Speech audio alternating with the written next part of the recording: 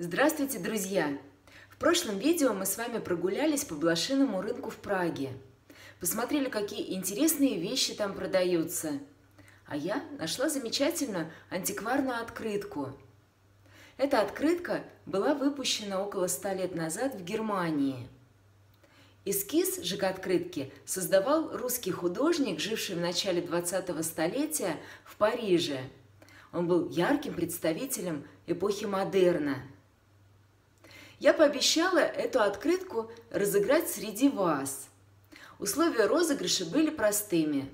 Достаточно было быть подписчиком моего канала и под видео оставить комментарий «Хочу открытку». Итак, сегодня 6 января. Время пришло ее разыграть. Разыгрывать открытку я буду с помощью программы «Рандомайзер». Желаю вам удачи!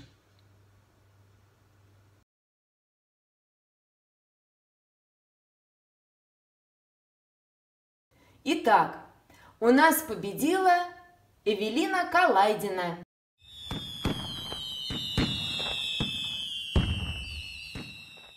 Эвелина, поздравляю вас! Для отправки открытки пришлите свой почтовый адрес на мой e-mail. Я оставлю его в описании к этому видео. Кто не выиграл, не расстраивайтесь.